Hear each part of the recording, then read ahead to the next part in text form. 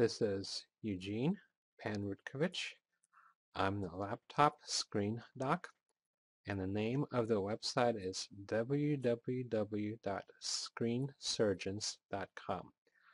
Uh, today we're going to replace a cracked laptop screen on an Asus 1005 HA netbook computer with a 10.1 inch screen. Uh, Asus makes several models of netbook computers and most of them look like this, have this form factor and most of them follow a procedure very similar to what I'll show you today. Okay, uh, so the thing that we have to do, there's some um, hinge covers down here. One, and on the other side, two. We have to remove those first. Then we remove the screws that hold the plastic frame on the screen in. Uh, some of the models don't have those screws. They just, the frame just snaps in without the screws. So it depends on the model. And then uh, we take out the screen. So uh, the tools that you'll need, this is probably the most important tool for this job, is some pair of metal tweezers, an electronics screwdriver with a PH0 bit and a PH1 bit, an X-Acto knife blade, and possibly a prying tool. I'm not sure if we'll use this one. Okay, so first thing we want to do is close the laptop and then remove the battery so the laptop doesn't start, turn on accidentally while we're working on it.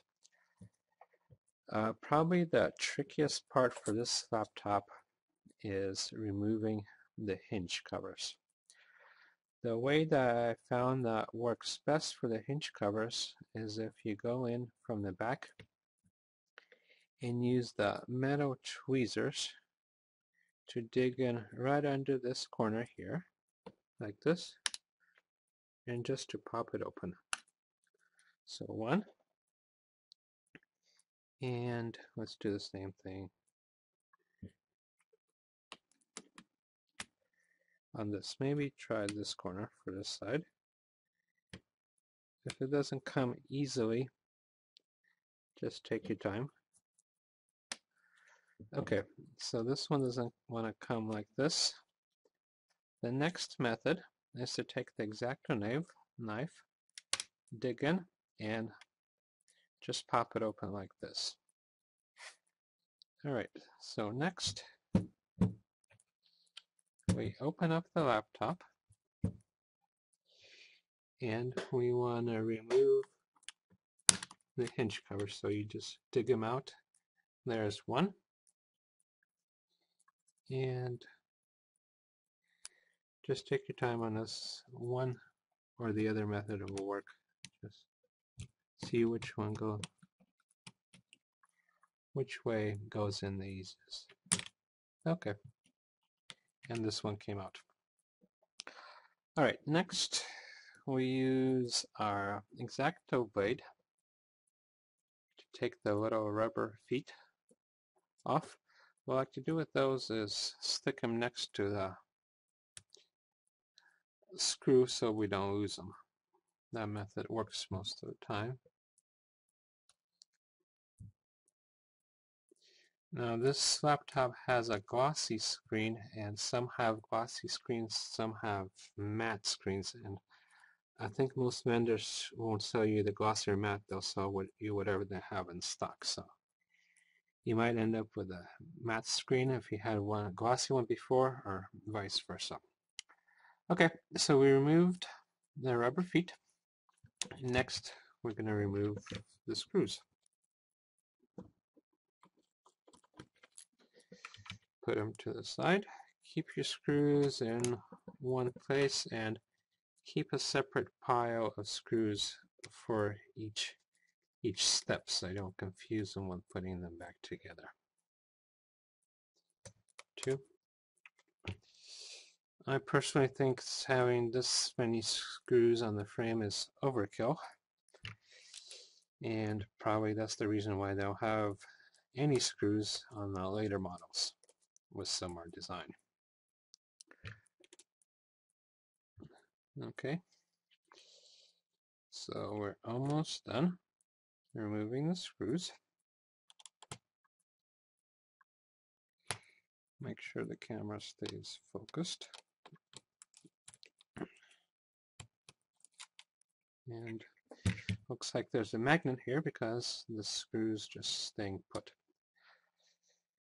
All right, so next, once the screws have been removed, we try to take off the cover.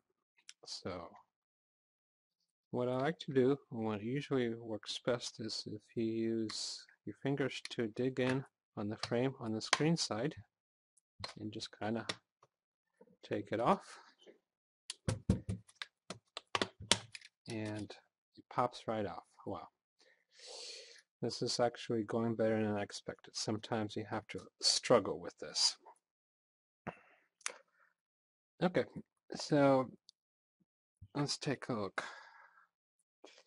Yeah, it looks like there's some screws here and here that we have to get to to take off the screen from the frame. So in order to do that, we have to remove these screws here to tilt the screen forward. So let's go ahead and do that. One. And here's my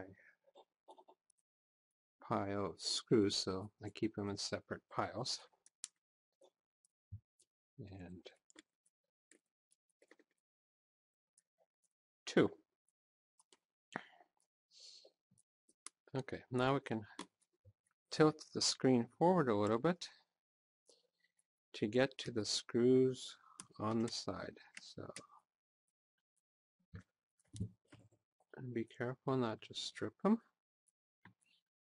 Okay, depending on the model, you might have to remove different sets of screws to get to the side, but it's fairly easy to figure out. If in doubt, just start removing screws until the screen can tilt forward. Okay. Two.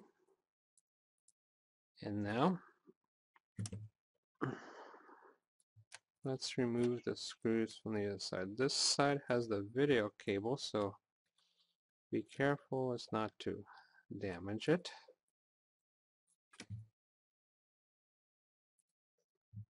and the final screw.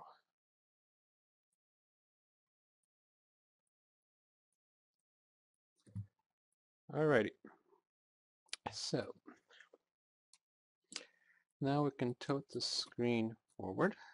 Let's see. Okay.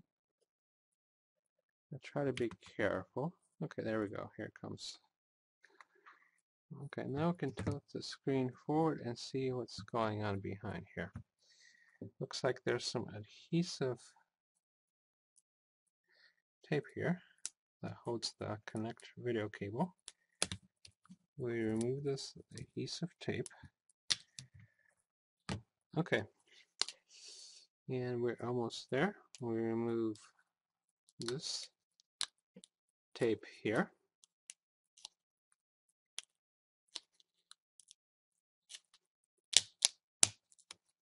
and gently pull the connector out. Okay, and now we have this screen out. Now, if you notice, um, this screen, it's it's different than most other netbook screens. So for pretty much all other netbook screens, they're the same size, but the connector is down here and the connector is a different form factor, so the screens are not compatible. So when you do order a screen, make sure it's specifically for the Asus Eee PC netbook, because once again, they're different. Now the part number for this screen is HSD100IFW1. So when you order it, make sure that there's a photo of the screen and the back of the screen looks exactly like this. And uh, once you get it in, you reverse the procedure and put it in. Uh, as of early 2011, this type of screen costs about $65 on eBay, which is about $15 more expensive than a screen for most other netbooks. But um, that's the price you have to pay for owning an Asus. Actually, I own a Asus netbook almost identical to this one, and I'm pretty happy with it, so I think it's worth the price. Once again, uh, just reversed procedure for putting everything back together and take your time and good luck.